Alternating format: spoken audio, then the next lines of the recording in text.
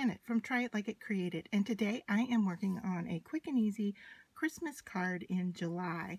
So what I have in front of me is a bunch of uh, Christmas scrapbooking paper scraps and you could use wrapping paper, you could use patterned paper, you could use your scraps, you could use um, your jelly paint plate printing, um, pretty much anything for this card um, using a Christmas theme. And what I've done here is I have cut down the pieces um, to one inch by one inch square. And I have those off to the side here. Then I have a piece of cardstock that I have cut down and this is six inches by eight inches and I am just going to fold it for my card. So lining it up in the center here. Sorry, I bonked the wire there. Okay, so there's my card. And I am just going to line it up here on my um, Make Arts magnet board, which will help make things line up a bit easier for me. So I am just going to use my magnets here and then I am just going to quickly bring over my pieces and kind of see how they look.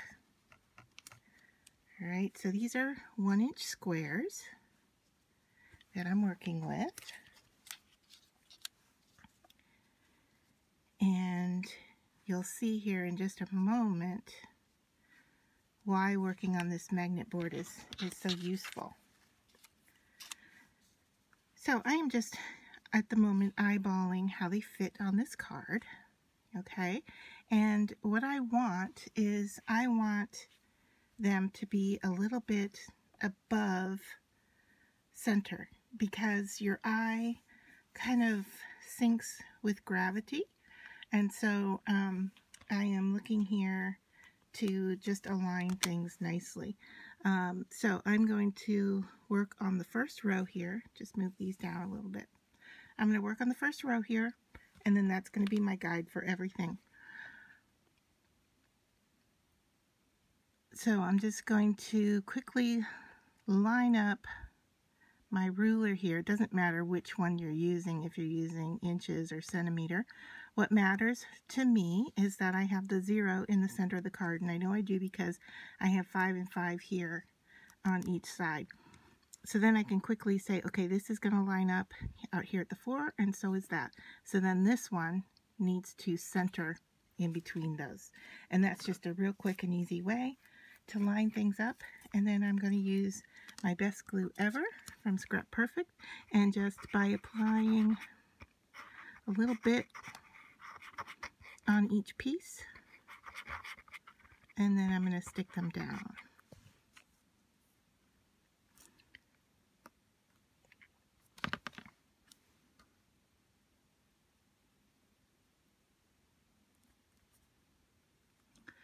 I'm going to work with the two outside ones and then I'm just going to kind of eyeball the middle one. And you can see here I'm not using much glue at all. It isn't necessary because it's a tacky glue. It adheres rather quickly and I don't need a lot of it.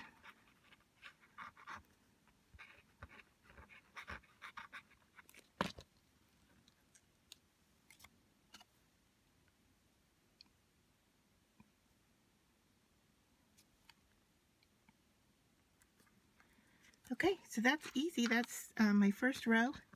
And then I'm ready to move down to my second row. And what I want to do here is mimic this distance here. And I can measure it. I'm just going to kind of eyeball where it needs to go.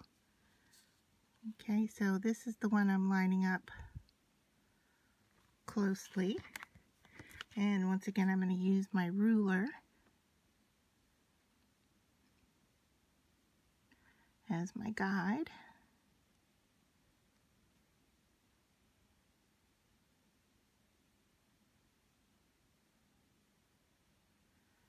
All right, and then I'm just going to continue on gluing.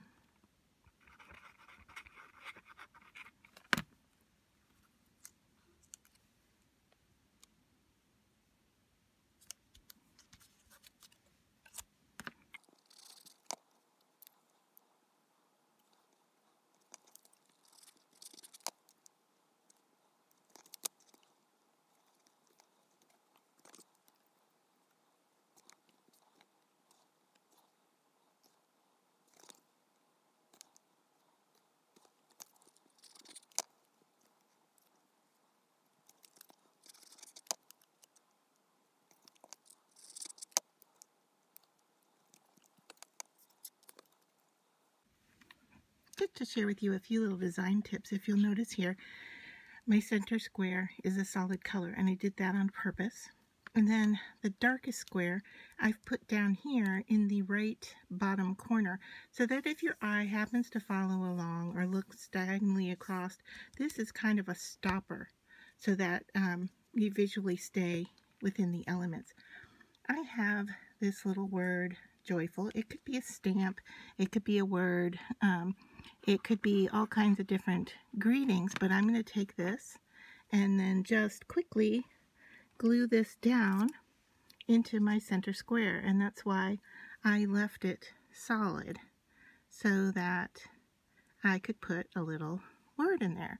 Um, this is a typewriter word um, from a set that I have in my store and uh, you can see that the cutting isn't perfect here and that's that's kind of the look I'm going for here. So just quickly show you the finished card. You could choose to do more on the inside. You could add stitching, um, stamping, stickers, whatever you'd like. But here is just a quick little easy card for Christmas in July.